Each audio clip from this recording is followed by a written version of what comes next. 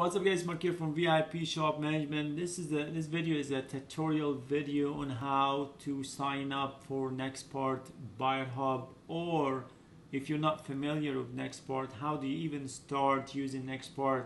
Uh, Nexpart is a big deal. Nexpart don't sell parts. Nexpart is just a connector to all your favorite vendors including AutoZone, O'Reilly, Advance, uh, and, and thousands more. So uh, if you are not familiar with Nexpart or or you want to sign up for Nexpart Buyer Hub, you need to go to nexpart.com. Make sure there's no T in Next. So it's N-E-X-P-A-R-T.com. Once you come over here, just click on sign up for Nexpart Buyer Hub and you need to type in uh, your email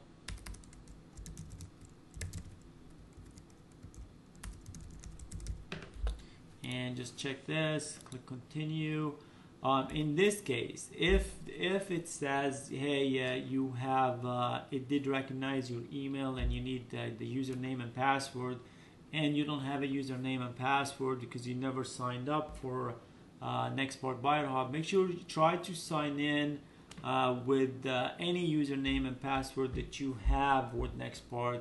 It should let you create after that create a username and reset your password. So try to reset, try to like try to sign in first with uh, let's say you, you, go to your parts catalog and go to Nexpart Buyer Hub. So if you have one of those, if you have any account with Nexpart, uh, try to do that right here and try to log in with the username and password. See what happens. See if it'll let you continue. If it doesn't, click on forget username and password and try to use that email to re to basically reset the password and have the ability to create an account. I'm just gonna go back and try to use a new email. I just want to because I want to show something that's really important. Um, so I'm just let me try to use. I don't want to sign up all the way, but I just want to show something real quick. So once you type in your email, uh, you're gonna come to this page. This page is really really important. This is the page it's gonna. in this page, uh, uh, make sure you enter your zip code just to be on the safe side but it will show all the vendors in your area that uses um, uh, Nexpart. So in my case, Advanced, you have Napa, AutoZone, uh, Federated Auto Parts, O'Reilly, um, which is First Call, and 1-800 Radiator, LKQ, um, Village Ford, which is Ford uh, dealership, Keystone, and uh, Parts Stores, Parts Plus, I believe they're the same. And so in Factory Motor Parts, which is another big deal, all are part of Nexpart. If you don't have any account with them, so what you do in this case, just click on advance and click on request an account. Click on Napa, request an account. So request all these accounts because uh, at this moment, all what you're doing is you're creating an account with Nexpart, which is something that they didn't have before, but now they do or they did and it was hard to do. So once you sign, once you figure out which uh, which vendors that you want to use just click on continue. I'm not gonna create this account. You gotta fill up your information right here and then after that it will make you um, create a username and password. So you're gonna have one username and password. Once you have the one and you gotta confirm your email keep that in mind. So two steps right here. You gotta create a username and password and after that you're gonna confirm your email. And basically you just gotta go log in your email and, and, and then give you a code or something verification to your email once you get the username and password, you need to go back to VIP Shop Management, click on Parts Catalog all the way up top. You see what I'm talking about? Parts Catalog, and then go all the way down where it says Nexpart Vendors Setup. Once you come here, you have two options right here.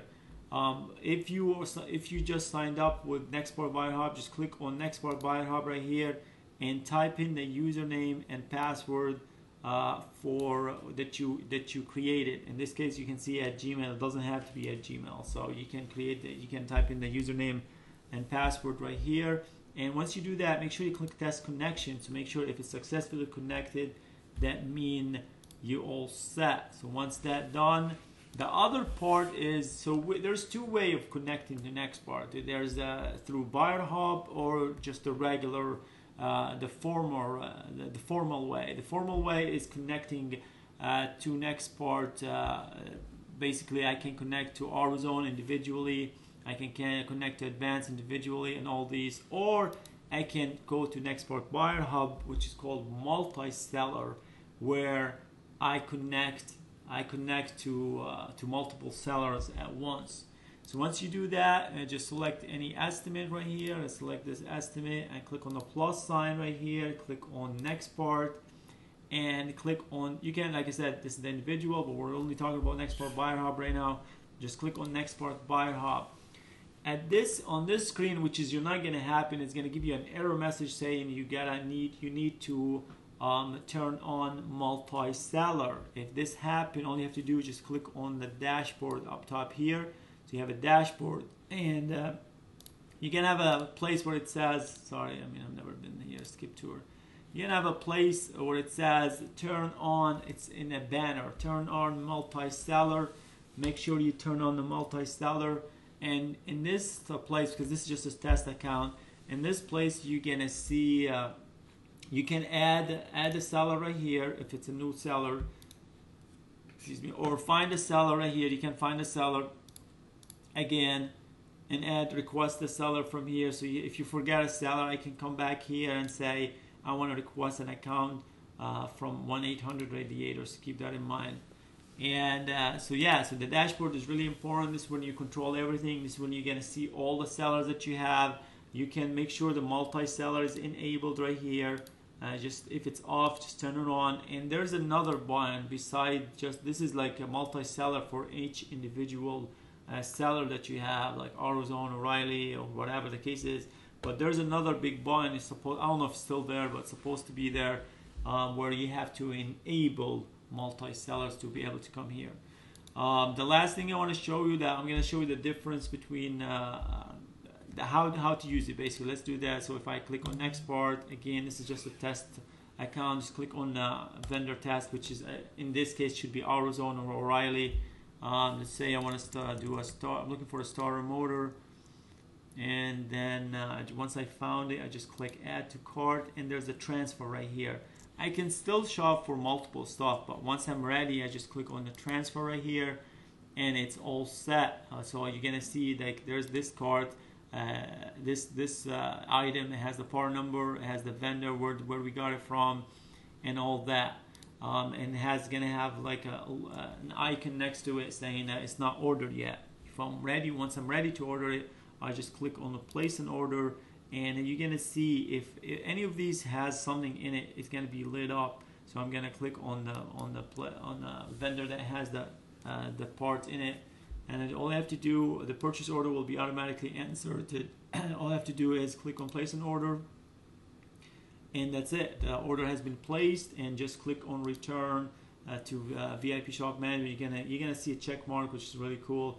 If I click on the purchase order numbers right here I click on add view I'm gonna see there's a there's the purchase order number that I got from them uh, for this vehicle and uh, it was created at this date at this time and that was the total for it uh, same thing that will work for Buyer Hub I'm gonna do this one more example and that's it I'm gonna click on Buyer Hub uh, Buyer Hub, like I said, again, it's a multi-seller. So if AutoZone, O'Reilly, and Advance all order at once, so you can see the prices and pick and choose which one you want to buy. Uh, let's look for a fuel pump in this case. Uh, fuel pump. Let's see, module assembly. So that's a fuel pump right there. I'm going to add it to the cart. I'm going to transfer the cart. And you can see the fuel pump right here. Once I'm ready to place an order, I click on place an order. You can see there's a there's the cart inside Buyer Hub this time.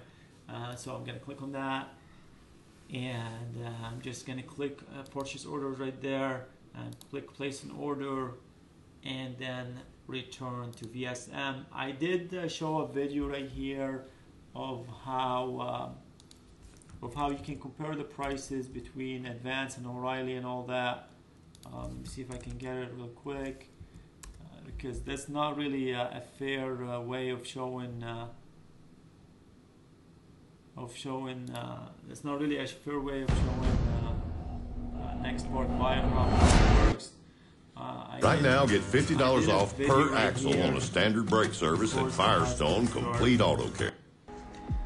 Made a video right here that says AutoZone destroy O'Reilly. The only reason I made this video not because I'm, I'm rooting for AutoZone. I did use AutoZone in my, in my past, but uh, the reason I made this video because literally the prices of AutoZone in this video was uh, was uh, basically was like uh, they're cheaper than than Advance and O'Reilly uh, all the time. So if you look in this video right here, um, I'm just gonna exit it because otherwise. So right there, so if you look, there's that fuel pump right here from AutoZone.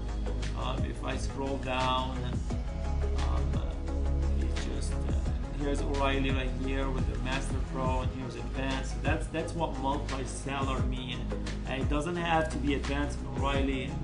It can be your favorite vendors uh, comparing the price at once. So keep that in mind. I'm glad I made this video uh, so I can show uh, that was I was using a real account. It was Rick's Auto Center uh, in Illinois. So I really appreciate you again, Rick. So anyway, that's it for today. Appreciate you guys. Until next time, uh, thanks for watching.